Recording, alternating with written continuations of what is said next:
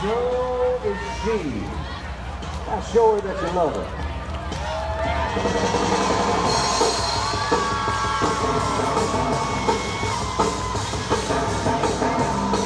A little while, but that's all right. Number two is nice.